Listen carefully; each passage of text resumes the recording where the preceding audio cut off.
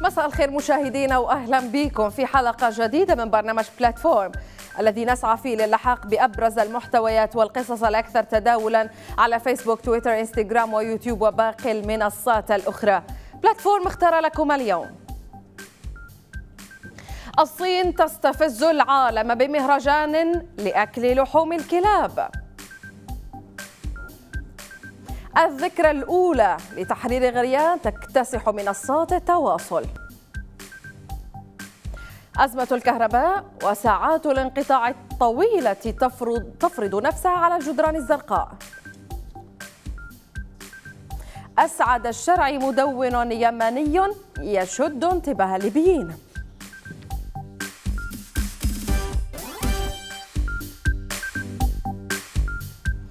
شهدت منصات التواصل الاجتماعي تداولا واهتماما واسعا بإعلان الصين انطلاق مهرجان لحوم الكلاب المثير للجدل رغم المحاولات الجديدة التي قامت بها الحكومة لتحسين رعاية الحيوانات لأسباب صحية ناجمة عن جائحة فيروس كورونا المستجد.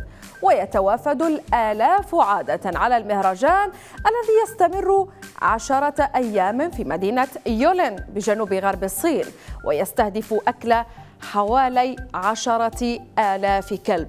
غير أن النشطاء قالوا إن الحضور هذا العام قد انخفض فيما دعا آخرون لأن يكون هذا الحدث الأخير من نوعه في الصين. نتابع القصة كاملة.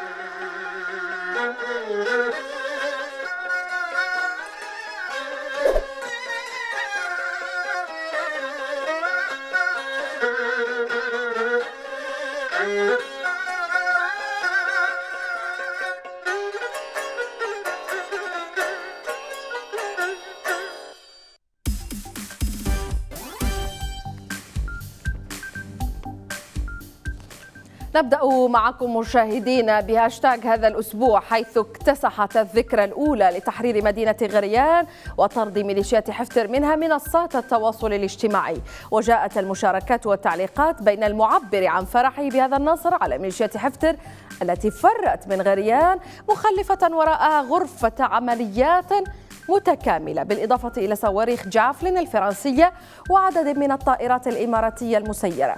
فيما فضل طيف آخر استمطار شآبيب الرحمة على شهداء عمليات بركان الغضب وشهداء عملية تحرير مدينة غريان. نبدأ مع شريف الذي وصف عملية تحرير غريان بالفتح وتذكر عددا من الشهداء وغرد.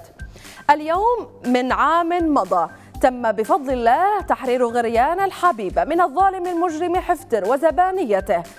فتحية لكل القادة وأخص بالذكر ناصر شطيبة ومحمود الغصري وليد شطيبة والبطل رحمة الله عليه مجدي ضبطش وعبد السلام زوبي والبطل محمد الحصان وأبطال الزاوية الأشاوس وجميع من شارك في هذا الفتح.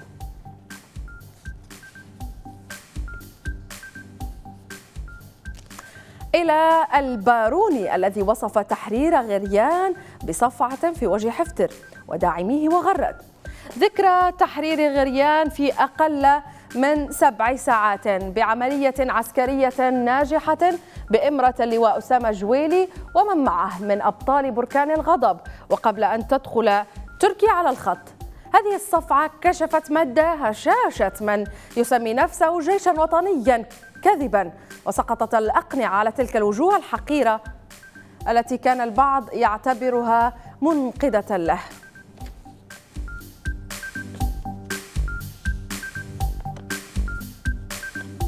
منى احتفلت بالذكرى وذكرى تحرير غريان ووصفتها بعاصمة الجبل وغردت ذكرى تحرير عاصمة الجبل غريان الأبية من قبضة الميليشيات الإرهابية والقوات الفرنسية المساندة لهم.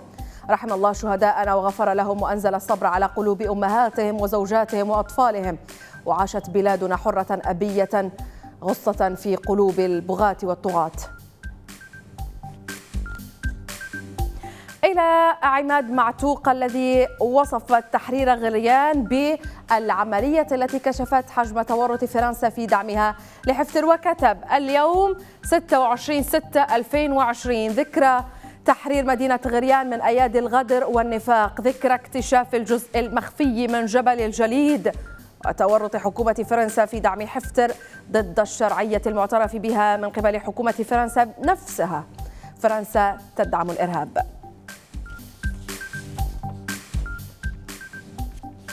إلى فرج الذي رأى أن تحرير مدينة غريان لم يكن سهلا وكتب. غريان كانت أصعب مدينة قام رجال البركان بتحريرها نظرا لعدم توفر الدعم والإمكانيات آنذاك وكانت الأسلحة والذخائر قديمة بالإضافة إلى كونها مدينة جبلية وذات جغرافيا صعبة إلا أنه تم تحريرها بعد مساندة أهل غريان لأبنائهم. ذكرهم وذكرهم ونكد عليهم.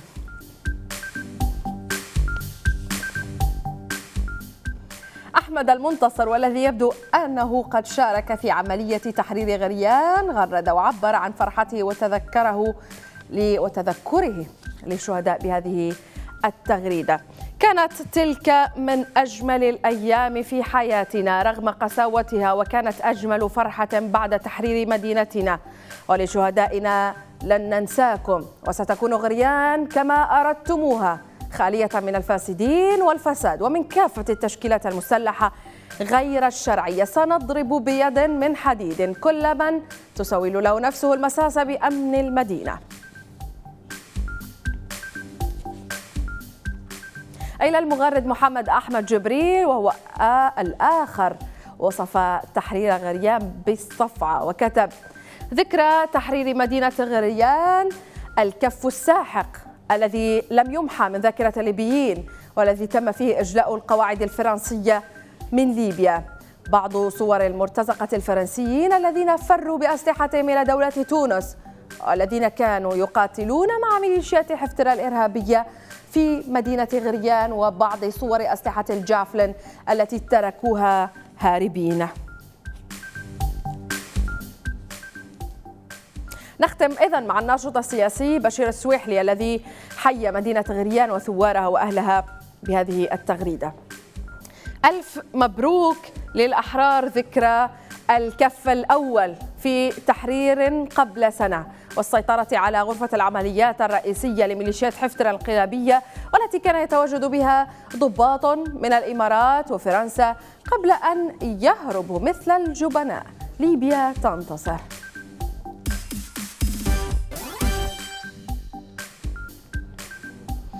الكهرباء وأزمتها المزمنة سيطرت أيضا على اهتمام عدد كبير من مستخدمي منصات التواصل الاجتماعي.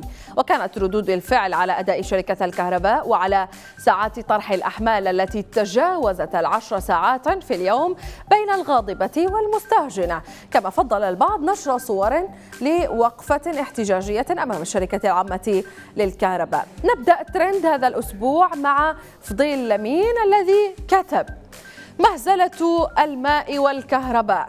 لا يمكن أن تضاهيها ولا أن تشبهها أي مهزلة أخرى في حياة المواطن الليبي المغلوب على أمره. سنوات طوال ومليارات ثقال ونتيجة لا تصل إلى مستوى صفر نحيف. ما مر صيف خلال السنوات الماضية إلا والذي جاء بعده أسوأ منه من انقطاع لساعات قليلة إلى عدة ساعات إلى انقطاعات طويلة إلى أن أصبح الاستثناء هو وجود الكهرباء والماء والأصل هو الانقطاع. يزداد في كل عام الصرف بالمليارات على الكهرباء ويزداد انقطاعها في نفس الوقت فالعلاقة أصبحت عكسية. إلى الكاتب سراج هويدي الذي طرح سؤالا مباشرا لإدارة شركة الكهرباء وكتب السادة أعضاء مجلس إدارة شركة الكهرباء. أعطوني مبررا واحدا بس لبقائكم في مناصبكم لهذه اللحظة. وما استقلتوش. كهرباء وما فيش. أنت شن قاعد تدير على الكرسي. سلم خوي فتح لي كوشة ما فيهاش خبزة. شن بندير بيك؟ قدم استقالتك وبر على حالك. واحفظ ماء وجهك. يا راجل شن مازال قاعد تدير. الناس تدعي عليكم في كل ساعة وفي كل ثانية. أني كان في مكانكم راهو أمالية قداش ليهم. ناكريني مرة واحدة ولا دافنيني؟ وإلى فرح التي كتبت تعليقا طريفا حول احتياج الشركة العامة للكهرباء نفسها لمولد كهرباء. المواطنون قاموا بمظاهرة اليوم أمام مقر الشركة العامة للكهرباء احتجاجا على قص الضي لقوا الشركة دايرة مولد أصفر كبير.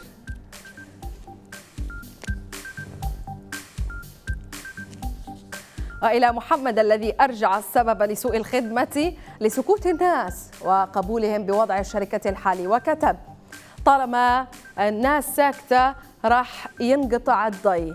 راهو ما فيش أي مكان تعبر فيه تقريبا عن رأيك إلا هنا ومع أنه مش فقدنا الأمل ايجابيا ولكن واحد مع واحد ممكن يدير نتيجة. الشعب غير مسؤول على فشل المدراء المسيرين لشركة الكهرباء مش وقت مجاملات في ناس تعاني في صحتها ضروري من الضغط والله.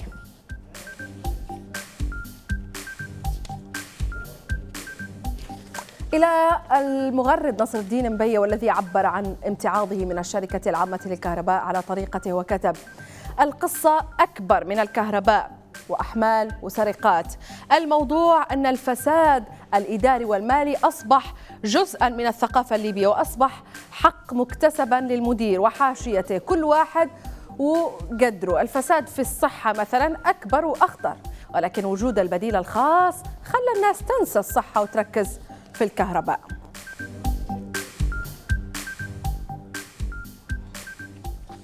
حساب يسمي نفسه اتش اي طالب شركة الكهرباء أو طالب شركة الكهرباء. خلي الضي مقطوع يا ساسي.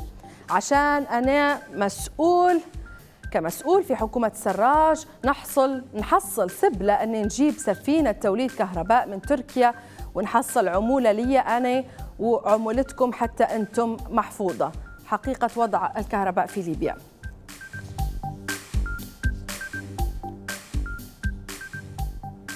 هيا نور التي طرحت سؤالا متداولا على منصات التواصل الاجتماعي وكتبت سؤال ليه أزمة الضي صارت بعد تحرير طرابلس؟ الإجابة متوقعة. نبو عملية يقودها ثوارنا ضد الفساد اللي صاير بشركة الكهرباء. الناس فدت أقسم بالله اللي يكون في عونهم ويفرج عليهم.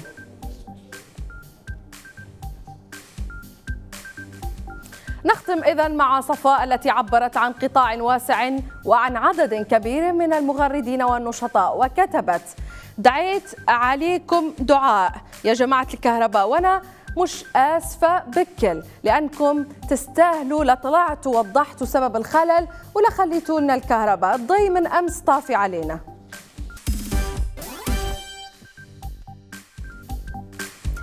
أسعد الشرعي ناشط سياسي ومدون يمني يقيم في بريطانيا.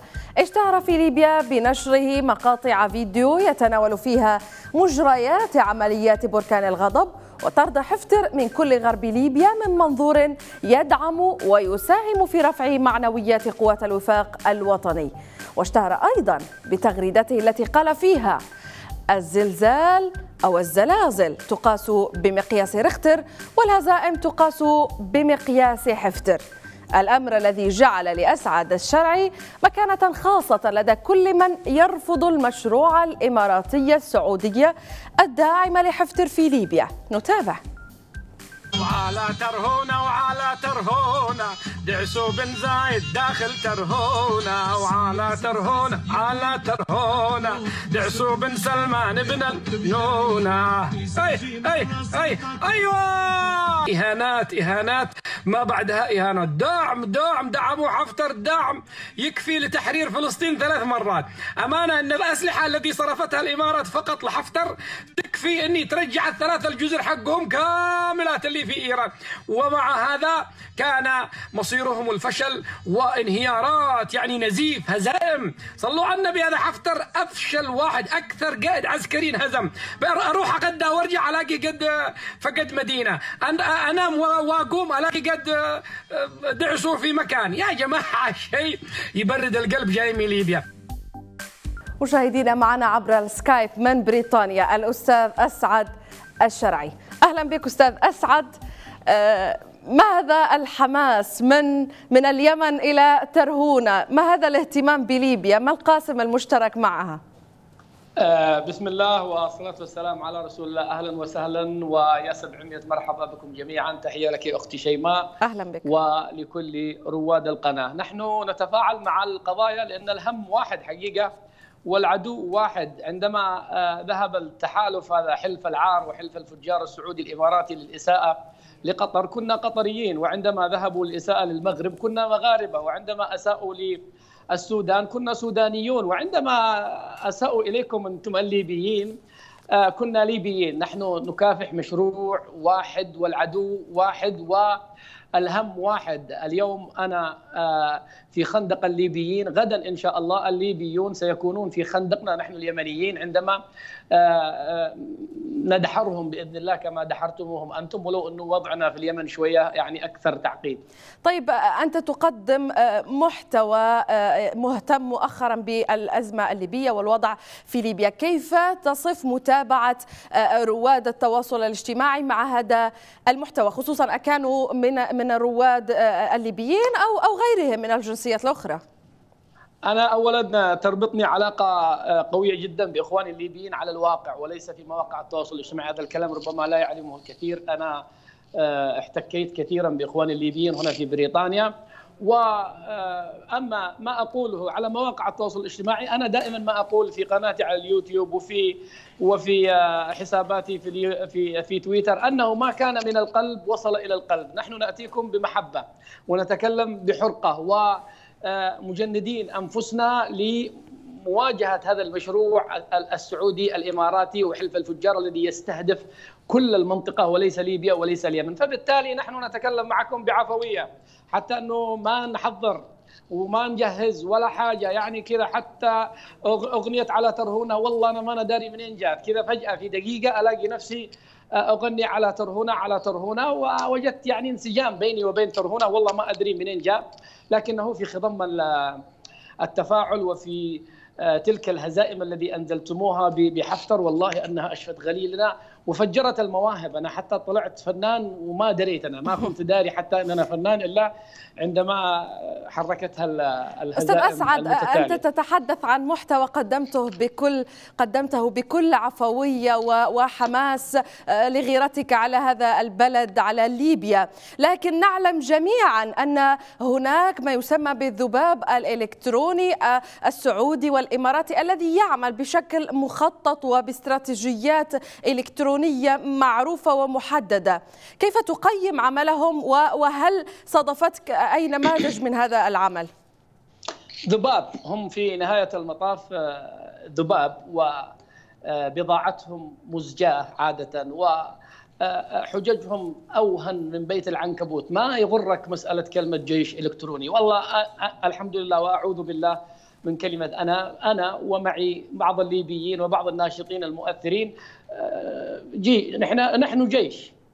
نحن جيش. هم هم لا يساووا شيء. اللهم أنهم يداروا ويشتغلوا بأسلوب منظم. وأنا عادة ما تخاطبت مع كثير من الإخوة الناشطين اليمنيين والليبيين بشكل عام في الوطن العربي في الإسلام. يقولون لماذا للذباب جيش؟ وأنتم يا أحرار العالم ليس لكم جيش. الأصل أن يكون لنا جيش ونحن فعلا جيش. اللهم أنه لسنا منظمين لا يوجد انسجام. أما هم فمنسجمين يعني آه، سبب إغلاق الحسابات في في تويتر بسبب هذا التنظيم والبلاغات المنظمة والهجمات والترندات الذي يفعلها. لكن في نهاية المطاف أنا أقول لك شيء والله العظيم أنهم غثاء كغثاء السيل وتأثيرهم صفر على الشمال فقط أبواق ظاهرة صوتية فقاعات إعلامية تنتهي مع الأيام لأنه في نهاية المطاف لا يصح إلا الصحيح ولا يتم إلا ما يخاطب عقول الناس. أما هم فهم ينتهجون التضليل في كل شيء والناس يميزون في نهاية المطاف الناس مش يعني إلى هذه الدرجة من الغباء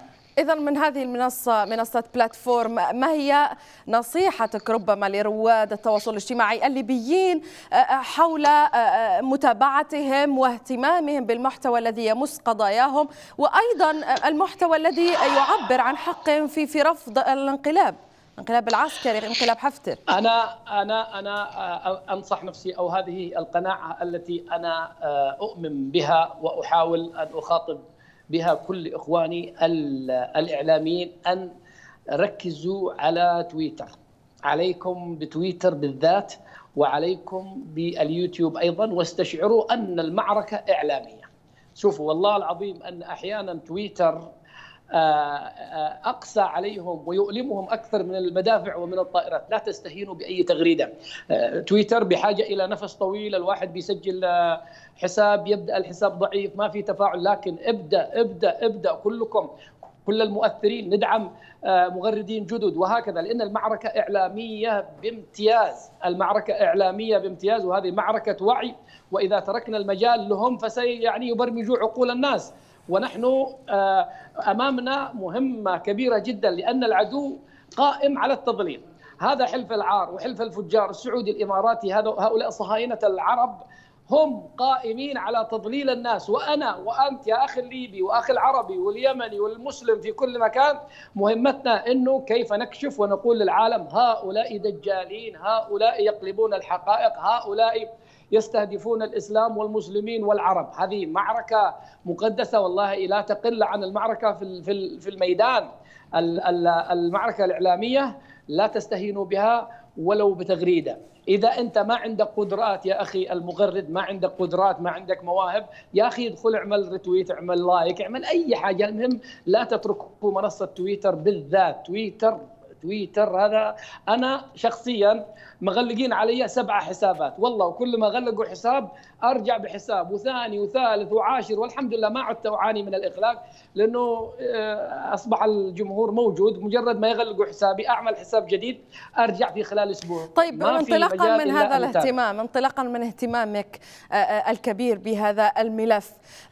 كيف ترى مستقبل حفتر في ليبيا وأيضا مستقبل جميع يعني الانقلابات المضادة في في العالم العربي أجمع. جولة الباطل ساعة وجولة الحق إلى قيام الساعة إن شاء الله. هم باطل هم مجرمين هم إرهابيين. قد ينجحون في بعض الأمور أو في وقت معين أو في بلد معين لكن في نهاية المطاف سيكون مصيرهم الفشل. إن الله لا يصلح عمل المفسدين على الإطلاق. انظروا إلى مصر. مصر والانقلاب على الديمقراطية وعندما نجحت الثورة المضادة وجلبت لمصر هذا الكارثه السيسي. الآن انظروا أين مصر اليوم. مصر اليوم في أسوأ حالاتها والسيسي نفسه وعدها أنه في 30 6 2020 ستكون مصر غير وفعلا غير ومهددة بالماء. هي الثورات المضادة تستهدف الشعوب. هذا هي هذا المهمة الذي نريد أن نوصلها للناس عبر مواقع التواصل الاجتماعي أنه يا جماعة هناك حقيقة لابد أن يدركها اليمني والليبي والسوري والعراقي وكل العرب والمسلمين. أن أن عندما يروجون للناس أن الربيع العربي هو من دمر البلدان نقول لهم لا لا هنا هنا قلب للحقائق. الذي دمر البلدان هي الثورات المضادة للربيع العربي. وليس الربيع العربي الثورات المضادة التي تديرها غرف مظلمة غرف خسيسة في الإمارات وتدعمها في اليمن وفي مصر وفي ليبيا ستفشل بإذن الله ستفشل بإذن الله ما دام أن في في فينا نفس وهناك عزيمة ستفشل ولا مجال إن شاء الله إلا أن تفشل. نشكرك شكرا جزيلا الناشط السياسي والمدون اليمني الأستاذ أسعد الشرعي كنت معنا عبر السكايب في برنامج بلاتفورم.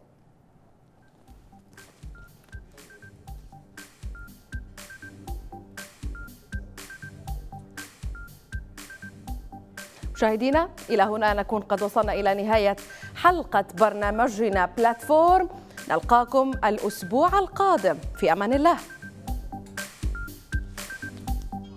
ترهونا وعلى ترهونا. دعسوا بن زايد داخل ترهونا. وعلى ترهونا على ترهونا. دعسوا بن سلمان بن النونة أي أي أي أيوه! إهانات إهانات. ما بعدها اهانات دعم دعم دعموا حفتر دعم يكفي لتحرير فلسطين ثلاث مرات. أمانة أن الأسلحة التي صرفتها الامارات فقط